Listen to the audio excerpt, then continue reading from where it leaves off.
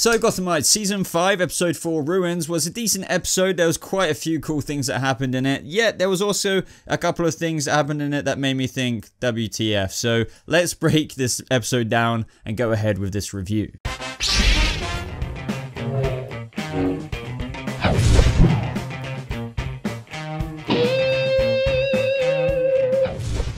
What is up, Gothamites? Welcome to a brand new Gotham Season 5 review and breakdown. Now, this is for episode 4, uh, Ruins, which was a good episode, but yeah, I feel like I have a couple of issues with this, um, especially that ending with Selina and Jeremiah. But the, the episode itself uh, and what they've set up uh, for episodes to come is very interesting. I've enjoyed the Riddler a lot more this episode because of what happened with him. Uh, it was cool to see Lucius Fox get a lot more screen time and a whole bunch of other things. So before I get into this, if you're brand new to this channel, you want to stay up to date with uh, all Gotham episodes, reviews, and news updates and stuff like that, be sure to subscribe and also check out some of my other videos on comic book nerdy shows that you may be interested in. And of course, like this video if you do go on to enjoy it. And I want to say thank you guys for all your support on my previous Gotham video, which was the interview with Francesca Root Dodson, who plays Ecco. Once again, uh, you guys have killed the likes on that. I think it's like over a thousand likes to like one or two or three dislikes, which is just insane.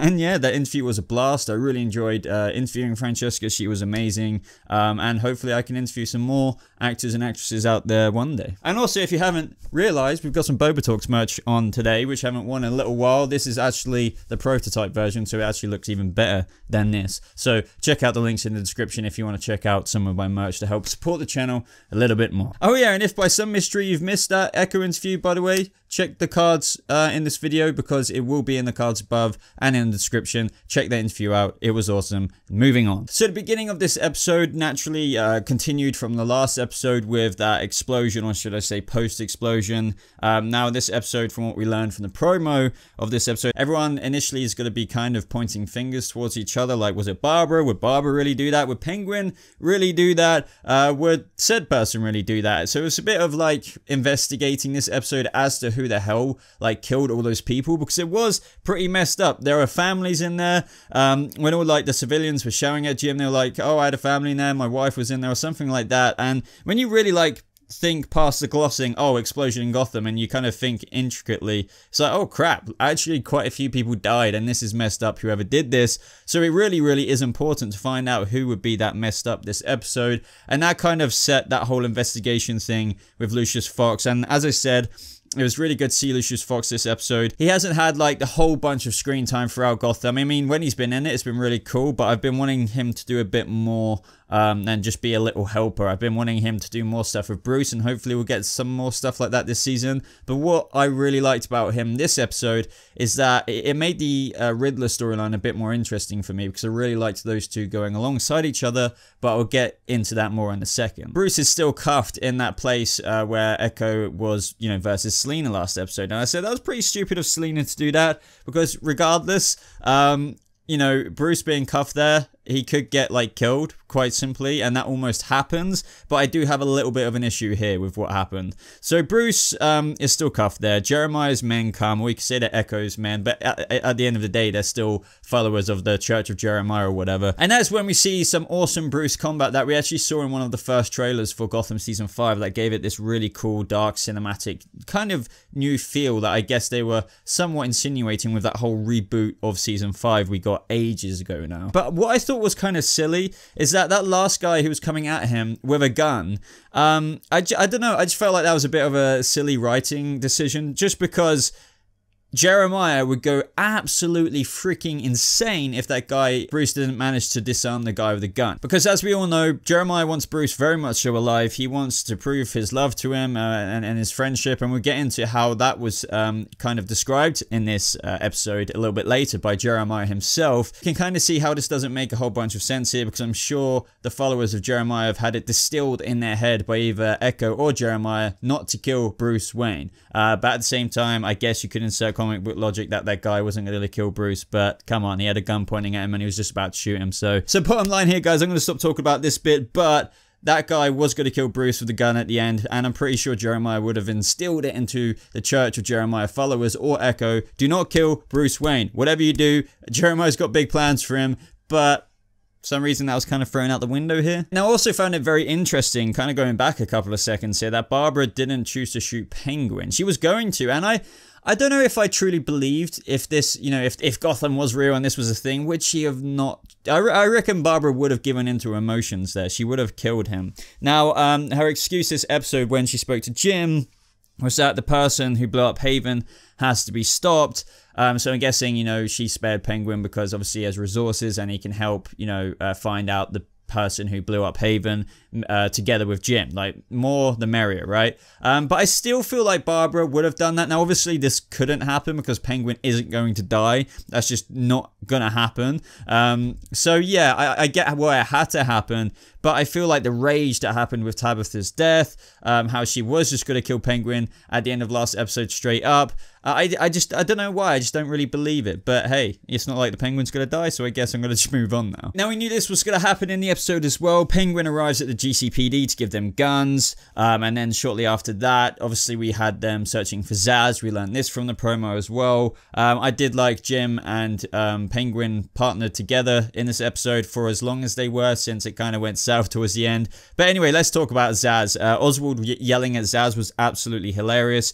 Uh, very happy to see Victor Victor Zsasz back again. Uh, we knew this is the thing, and I will address this later as well. Gotham trailers do give away quite a lot, but a lot of trailers in the industry, uh, whether it's movies or TV shows, tend to give away a heck of a bunch. Um, because I knew uh, Jim was going to take Zsasz down. Sure, you could guess that anyway, but we I saw the very scene where Zsasz was eating his popcorn uh, up where he was sniping, um, and then Jim, you know, rugby tackles him. That was shown in a trailer. So I don't know, maybe it's just me and I break the stuff down, but when you pay as much attention to it as I do, you kind of feel like you know what's coming a lot of the time. But what I do appreciate, and I do fear that this is all we're going to get with Zsasz in terms of the foreshadowing of his future character, is when he said, uh, if I blow up a building full of people, I'd have my body covered in sweet, sweet scars. Something like that. He said something like that, and I thought, obviously, that's pretty cool, because if there's anything that we've wanted through Zsasz is more character development, um, with scars and everything like that with his actual comic book character. We've barely had that in Gotham throughout all of the seasons. And unfortunately, as I said, I think this will be as good as we get um, just because there's not many episodes. And I don't think Zsasz is going to be in a whole bunch. So I wouldn't be surprised if that's all we're going to get mainly with Zsasz this season, minus a couple of extra things. But either way, Zsasz was sentenced to a death sentence. Obviously, the people want somebody to pay, and I get that. Um, and he was very, very nearly had his head cut off if it wasn't for the last second second him being pulled away. Um, I found all of this uh, confuffle in the episode interesting. It's totally up Penguin Street. Um, I, I think he knows. That's what I like about it as well. Penguin knows that it might not be him. But when he was getting the generation from the crowd and everything like that, fueling Penguin's ego, I feel like Penguin just wanted the people of Gotham back more than actually finding the truth of who, whoever has to pay for blowing up Haven. Um, so yeah, I like just seeing all of that stuff go on, and then naturally that rubbed Jim up the wrong way. But even though Jim uh, is one of the few, you know, including Bruce and a couple of others like Zsasz and Alfred and stuff like Zsasz and Alfred, Bruce and Alfred, sorry, the pinnacles of light this season. I like how this episode still showed Jim's struggle with darkness. For example, when Harvey expressed that the shootout idea, he, he was just like, "Don't ever include me in something like that again," or he just doesn't want any anything to do with it. Now, Harvey is a bit of like he's not a bent cop, but he's been and done some certain things, even probably more so than Jim, even throughout the past few seasons uh, in his history. But Jim wanted to, to do a shootout with Zsasz, um, and I thought this was just a show of power, just like Zsasz was going towards the gun, and then like he's like, okay, okay, okay, whatever, I'm, I'm going, um, and then that meant Jim didn't have to do it. But I honestly think that Jim was actually serious about if you touch that gun, I will shoot you. It would just solve this problem. We could say that, you know, you tried to kill me because I gave you the chance to, so me shooting you doesn't make me feel as bad. But that is pretty messed up thinking. And I truly believe that Jim has kind of got that far now. He's been worn down a bit in No Man's Land that he would have actually done that if Zsasz would have taken the guns. So that is pretty disturbing. But we do know that Jim Gordon does have a dark side and Gotham have shown that more than once. Uh, for, for example, just like this situation. Now, as for Edward, this episode, I was worried that we would be getting more of the same stuff, like him waking up around the place. But this episode did make it a lot more interesting for his character. I will always say that I do really like Corey Michael Smith's acting, regardless of the storyline that is kind of feeling a bit rehashy this season. Um, he is fascinating. He does keep me entertained in any of his scenes. Uh, he really, he really is the Riddler. He's perfect casting for the role. I did think initially that him walking straight into the GCPD was a bit silly. I was just like, if he's not going to get caught, this is a bit ridiculous. But I did try and add in the factor of that. Okay, but there is quite a few civilians in the GCPD, so him running in like a homeless person isn't necessarily unbelievable. But then Lucius did catch him, so that I did like that. And you know, obviously Ed was searching for some prison records or whatever because on his hand uh, from the Riddler um, version of himself, or that other person, should we say, wrote down that this inmate or whatever knows. I liked how they worked together because obviously Ed used to work for the GCPD and helped solve a lot of crimes. Lucius is very smart himself, so those two paired together uh, is a pairing that I didn't actually think of before, but works very, very well. And I have to admit, I did actually suspect, hey, what if this is Ed? I think I may have dropped that somewhere along the way, uh, but obviously when he saw that lady in the window, and then we saw the number on her apartment door, it was just like, oh, of course, and then she naturally saw the real person who, flew, blew off that RPG into Haven, and that was none other than Ed, except the other version of himself. Um, so that was really, really cool. As I said, I did kind of expect it, and it makes it really messed up. It's made me a lot more interested in the Riddler story arc. Even though, as I said, nothing too much has changed in terms of them rehashing stuff, but it is interesting how Ed has gone very, very dark. He really, really has. So now, yeah, I'm actually really excited, despite the rehashy feels, of what kind of other version of Ed is going to come out by the end of this season. This will be a version of Ed who murders a whole bunch of people, family, women, and children in Haven. I mean, holy crap, I forgot to say at the beginning, of course, Jim gave his badge, didn't he? I, I, I swear I'm remembering this right, to the orphan kid. Uh, and then they gave the badge back to Jim, insinuating that he was, you know, dead in the ruins. Now, I could be wrong here, this is just a little side comment. I swear he was in the filming for the last few episodes or something, so he may not be dead. I do not want to, don't quote me on that, but they may just be putting off to the audience that they think he's dead at the minute and he may come back for some other reason later down the line. Then, of course, guys, probably a big part of what you want to hear me talk about in this episode is that Selina was following Ecco um, uh, to the underground place where they were digging that tunnel uh, from the Soothsayer gang.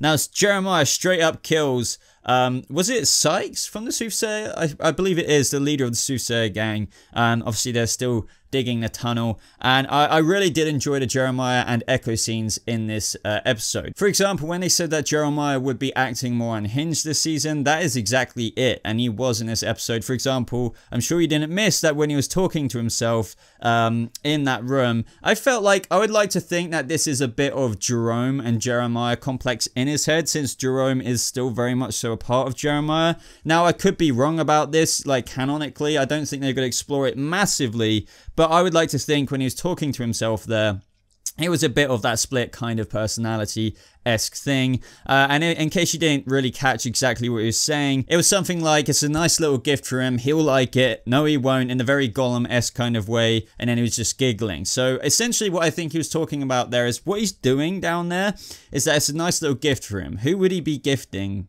that like whatever he's trying to do here too. Probably Bruce. Um, he'll like it, and then like the other version of himself says like no he won't. That is very Gollum from Lord of the Rings s kind of split personality talking to each side of himself.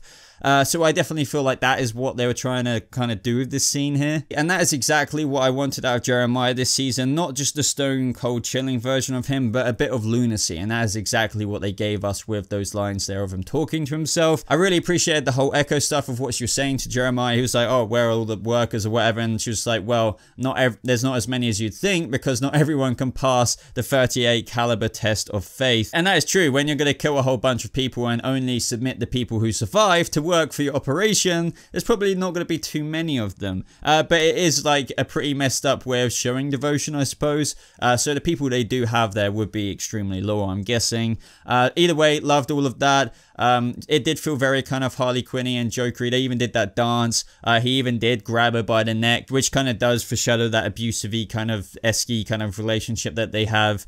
Um, it did feel very familiar to me in the terms of Joker and Harley esque way from the comics, and I really dig that. Now, the whole time during this, of course, we knew Selina had um, disguised herself to be one of the workers. She went after Ecco because she was probably going to knock her out and grab her stuff. That is exactly what she did. At the same time of this, though, Bruce and Alfred were taking Jeremiah's workers out. I really like the kind of cape swooshing sound effects of like a foreshadowing of Batman taking multiple people out in the darkness from different angles, even though it was just Bruce and Alfred working together doing that. But if you listen carefully to those sound effects, it is very Caped Crusader doing that himself. Now, the bit you're probably all wondering about my take on in terms of what the F happened with, between Selina and Jeremiah. She shanked him nine times, if I counted correctly. Like nine stabs. Uh, I like how he was kind of embracing it and even started kind of trolling her, and that's when she started stabbing him a whole lot more. Now, is Jeremiah dead? No. Um, we know he's in uh, the future episodes. Like, I could just end the conversation there.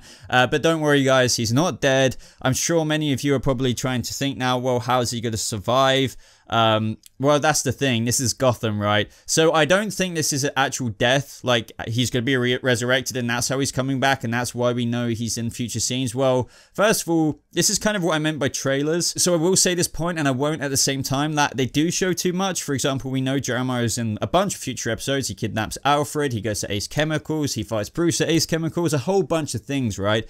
But at the same time, that's fine. I feel like showing future parts of the season is fine. So what I would say is doing this death was kind of pointless or like fake death on screen because well if you're just gonna if everyone knows he's in future episodes and we know he's not gonna die, then why have Selina do that to him? It would have just been cool if Selina absolutely floored him or decked him or beat the crap out of him but I wouldn't have personally made the decision to kill him off just because we know it's not gonna really stick. But I guess that does open a mystery in terms of how does he survive. I'm not entirely sure myself. I really don't think they're actually going to use Clayface or anything like that. But how does he survive nine bloody uh, wounds from a knife?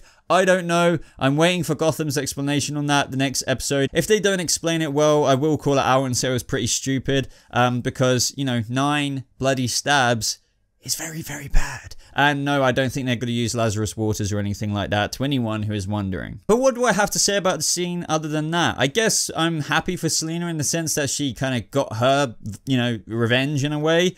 But I, other than that, I don't think it was that cool because, as I said, I already know what's going to happen. We know Jeremiah's coming back. So it wasn't that impressive as maybe what you're thinking I would have found it. But I feel like I've explained it kind of well enough as to why that is the case. Um, but let me know how you think Jeremiah is going to be absolutely fine. As I said, I really don't think it's a clone or that, that version of him was a clone. I don't think it was uh, Lazarus Waters or uh, Clayface or anything like that. But yet, I still can't explain how he survives nine stab wounds. We're just going to have to wait and see till next episode. But Jeremiah is going to be fine. Do not worry about that. And lastly, everyone, Jim and Barbara get it on. We all knew this was happening uh, this season. Uh, it was teased at the beginning of the episode where she nearly kisses him. Oh no, was that in the same? No, I think that's in the same scene. And then like he grabs her, of course. Um, so this, guys, I do suspect will make Barbara pregnant. I just think that's we've been talking about this for a long time now. We've been talking about this since we even got this this scene teased in the trailer. Um, it, it will set up like a future kind of Barbara Gordon. I mean, it, it, you'd have to assume it's Barbara Gordon, the baby uh, kind of thing. Uh, there is another time jump in the middle of the season, which I assume will be by a gap of months. So maybe if Barbara does get pregnant, she would have had the baby by then. Um, I do remember seeing a baby like in behind the scenes photos or something like that being carried around by various people. Can't confirm whose baby that is, but this is all pointing to the fact that they're trying to probably set up that uh, baby Gordon, you know, kind of future thing. And then um, Barbara will be kind of out the picture, I'm sure, for sacrificing herself at the end, which leaves baby Barbara Gordon to Gordon himself, and she and he probably names the baby Barbara sorry, this is getting a bit complicated now because she must sacrifice her life for the baby and Jim or something like that. I feel like this storyline is very much so predictable. Um, but let me know what you think in the comments down below. Do you think that was just a little hookup? But I think that hookup will have consequences. Other than that, though, everyone, uh, it was a decent episode. Um, there was a couple of things that I thought was silly, as I said, like killing Jeremiah or like faking the death wasn't necessary. We all know he's going to be fine. Um, that's a consequence of you know showing a bunch of the season, I guess.